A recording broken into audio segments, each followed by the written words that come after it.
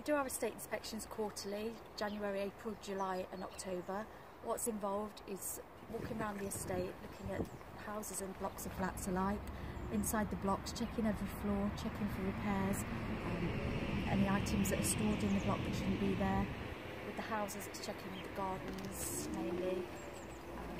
So it's a joint effort across the whole organisation. We've got the tenancy services team leading on the project, along with our guys from property care and the estate service workers. It's also a great chance for tenants to get involved and come along with us to pick up any issues.